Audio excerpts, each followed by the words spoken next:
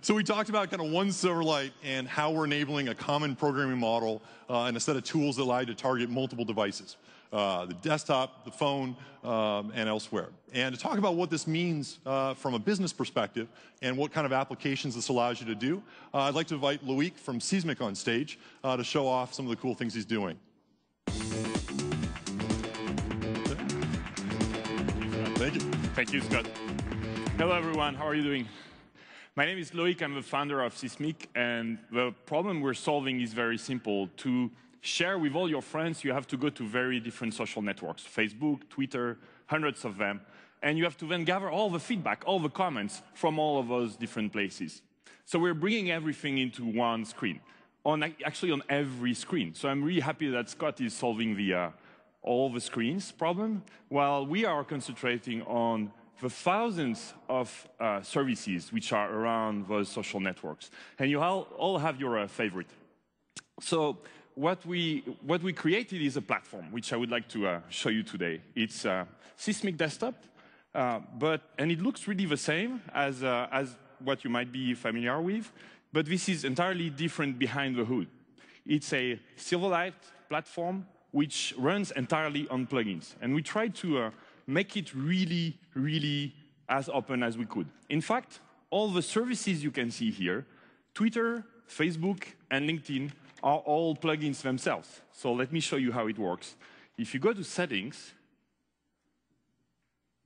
and now you have plugins, you can see that Twitter, Facebook, and LinkedIn, the three main social networks, are here embedded as plugins themselves. In fact, you could rewrite the way we integrated Twitter in Seesmic Desktop yourself if you don't like it.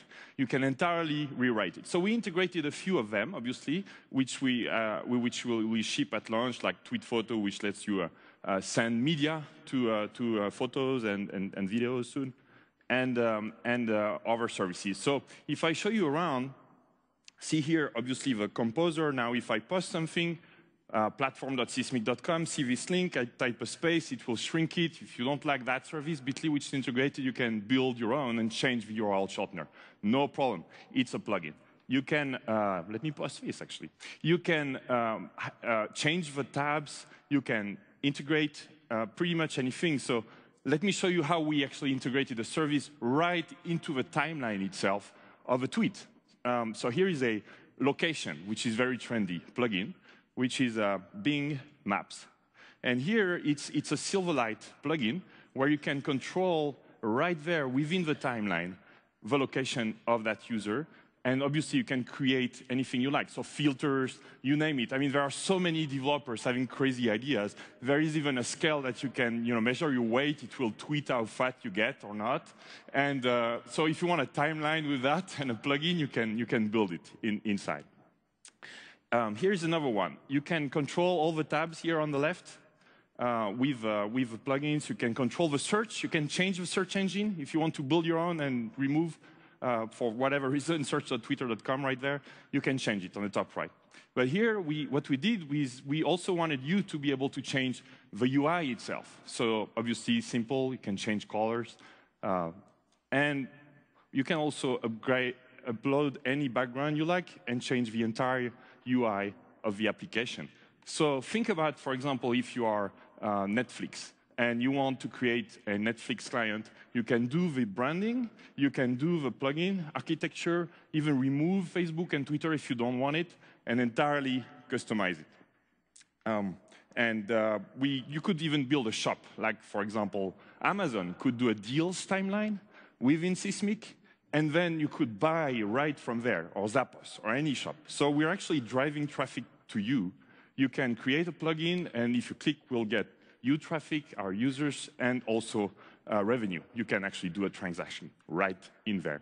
So we built, um, we built this um, Seesmic platform on Windows initially, and we were so impressed by how Silverlight 4 was that we decided to port everything to Silverlight with uh, very minimum work, like 90% of the code was uh, reused. And we thought, but what would be cool for the developers integrating into Seesmic would be if they could also do it on the Mac. So let me show you Seesmic Desktop on the Mac. Here it is right there, and it's exact same code. 100% of the code is there with uh, great performance and uh, if you build a plugin, it will work on Windows and it will work on the Mac. Now, um, it's Windows Phone Day, and um, what, uh, what Scott said is that he, he wrote in front of you a Twitter client, the first Twitter client, and I actually disagree that it's a real Twitter client. So I thought, you know, as a challenge, we, we would do also our Twitter client. So let me show you what I think is the first real Scott Twitter client, which is Seesmic for the Windows phone. So as you expect, you can you know, browse your timelines, you can uh, see your uh, replies, and uh, access the, all right, the reply from Marco, a that he took, and uh, the media resolves in there, and uh, you can also see the profile of the user himself. So this is Marco, who is behind our uh, platform, and you can, if you notice, the background of Marco, which is loading on the Windows phone, is his, is his Twitter background. So we load it, and it will change for everybody, obviously. So now, if I uh, go back here, and I can see uh, a, who is around me. So now this is, show you a Bing Maps plugin on Seesmic desktop. Here is the same plugin, here is the same service now on Windows Phone. And I can tap on a tweet and see who has uh, tweeted what.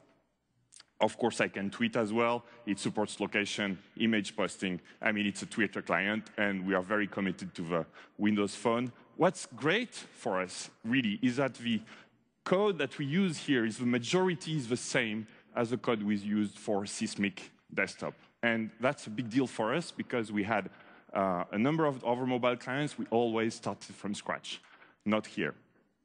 So uh, we would like to, uh, we would love to see your ideas and how you see your plugins, and we would love to uh, see hundreds of them and uh, and and see um, and and uh, make the platform as customizable and open as possible. So we would like to invite you to uh, sign up to platform.seesmic.com and join us tomorrow at 5:30 if you feel like we have a session, and we hope to see all your services integrated. Thank you very much. Thank you, Scott.